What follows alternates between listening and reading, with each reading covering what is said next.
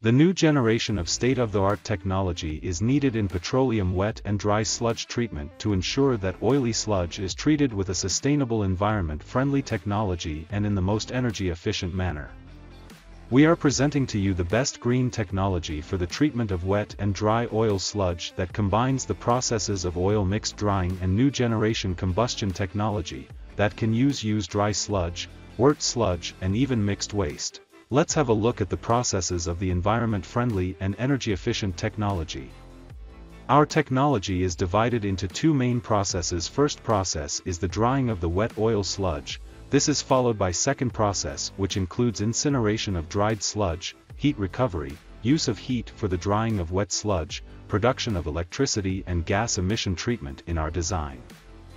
There are three duty and one standby trains in the facility each train is identical and has its own independent process as an overview each train has the capacity to handle 90 to 100 tons per day total of 360 to 400 tons per day for four trains.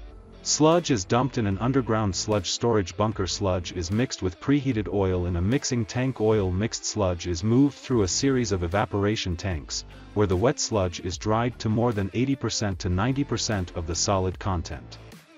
The steam heated from the main combustion chamber is used to heat the dryers and the steam is reclaimed and reused in the drying process.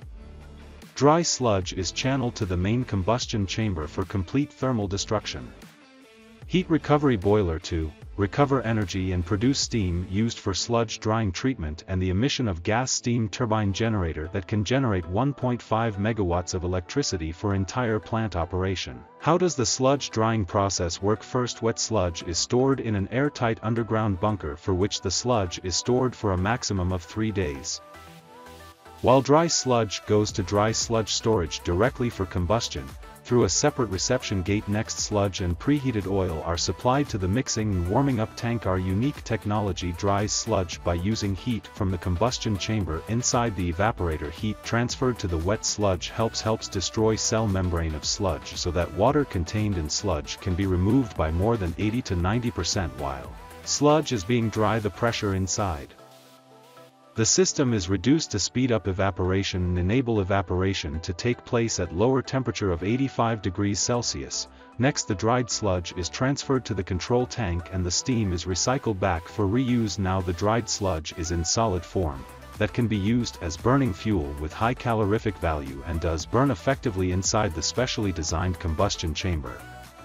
The dry sludge is pushed to the incinerator combustion chamber for complete combustion.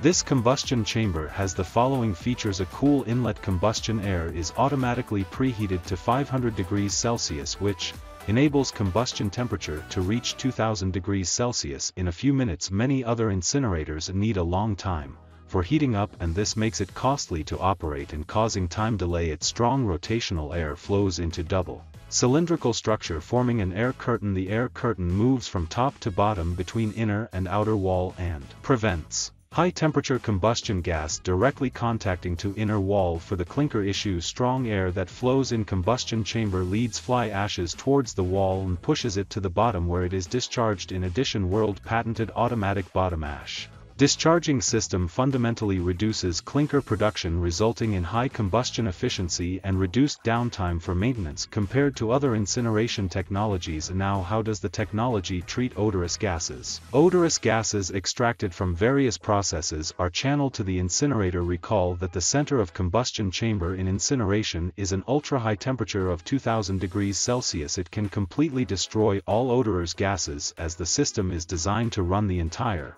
Process in a negative pressure sealed system. The drying and incineration technology can be used in an urban area because odor does not leak out. Next flue gas discharged from the heat recovery boiler is passed through a proper air treatment system consisting of a semi-dry reactor and bag filters meeting the local emission limit values the steam turbine generator produces about 1.5 megawatts of electrical power which is sufficient for the entire plant operation. Hence our technology is completely energy self-sufficient and does not require external energy source. We believe that our sludge treatment technology will be the best next-generation waste-to-energy technology and throughout Middle East this can be the best mixed drying and incineration technology, will provide us a solution which, combines proper sludge treatment with efficient recovery of energy in no odor and air pollution problems.